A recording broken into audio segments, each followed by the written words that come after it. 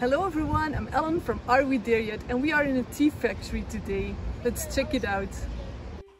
We left the bustling town of Kandy and drove up the mountains to Ramboda. This village lies smack in the middle of the tea plantations where Sri Lanka is famous for. Ceylon tea is popular since the beginning of the 20th century and it's known for its great quality. That's why visiting a tea plantation is a must when visiting the island. We chose Glenloch Tea Factory.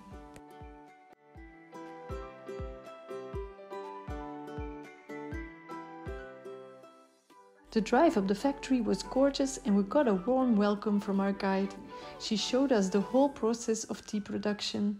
The kids were very engaged in all of this, but their favorite was picking the tea in the beginning and of course tasting it at the end.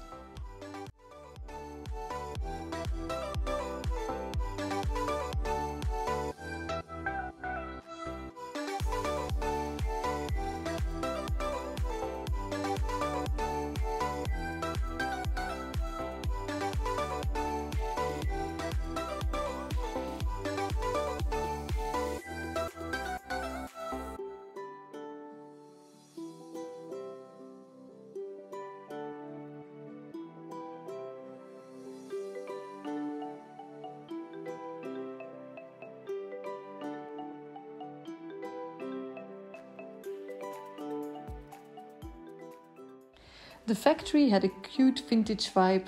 The tour was about 20 minutes long, so very doable with kids. The people were super friendly. The tour is free, although they ask for a contribution and a shop visit in the end. We planned on buying some real Sri Lankan tea anyway, so for us this was perfect.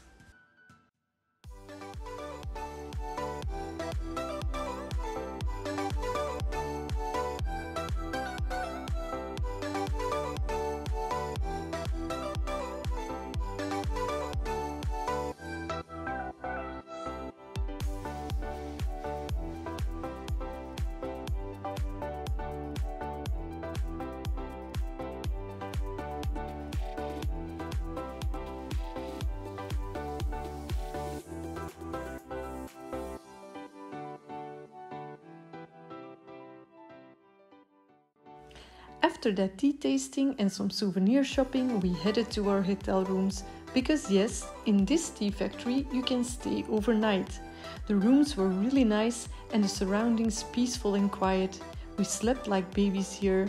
We really love this place and would recommend it to everyone.